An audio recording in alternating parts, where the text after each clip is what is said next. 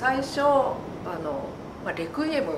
まあ、あの分かりやすいんですけれど、まあ、レクイエムっていう形にしようと思ったんですけれども、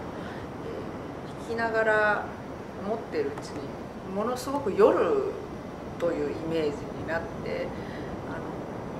あの夜にすごく何かを守ってるような気分に私がなったんですね。